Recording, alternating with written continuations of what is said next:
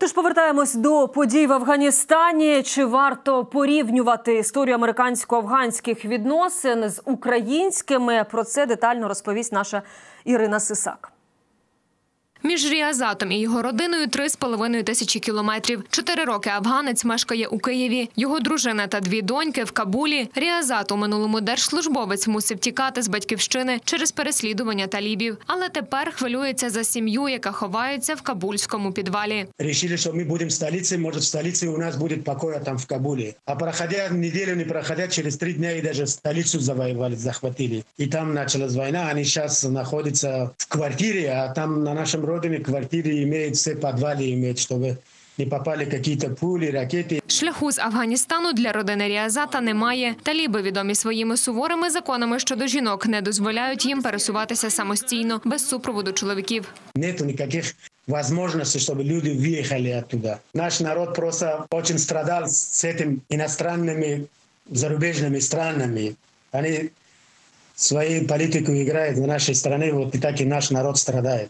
І поки афганці всіляко намагаються вибратися з країни, політичні ігри, які призвели до захоплення Кабулу Талібаном, обговорюють у світі. Найбільше критикують Сполучені Штати. Саме Америка 20 років тому вирішила докорінно змінити ситуацію в Афганістані. За ці роки США вклали в розбудову країни рекордний трильйон доларів від армії до освіти. Але місяць тому американські військові покинули країну згідно з попередніми домовленостями. Вихід американців з Афганістану був обумовлений угодою, яка була підписана в лютому 2020 року е, Дональдом Трампом і представниками Ісламського Емірату, яким називався Рух Талібан. Всі ключові партії в Штатах вони так чи інакше голосували за вихід з Афганістану і за завершення цієї війни. Звісно, прикро зараз і Байдена критикують за те, що це так стрімко сталося. Противники Байдена скористаються цим Головний противник Байдена Дональд Трамп уже назвав виведення військ найбільшою поразкою США. Його підтримали і республіканці. Репутаційних втрат Америці не уникнути, констатують експерти. Але Білий Дім наполягає, якщо після 20 років допомоги афганці не хочуть захищатися від талібів, то вихід США з країни лише на користь. Американці, врешті, е,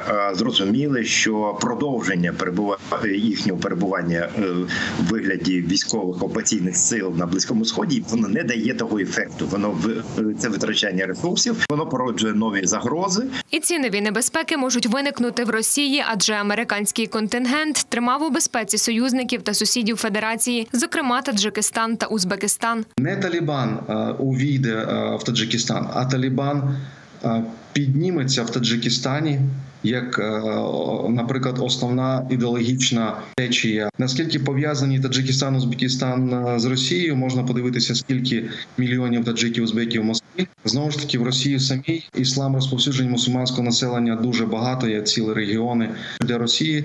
Дійсно починається новий період історії, Українці ж у соцмережах поспішають порівнювати афганських талібів із бойовиками так званих ДНР та ЛНР. Водночас шукають ймовірну майбутню зраду і у відносинах США та України.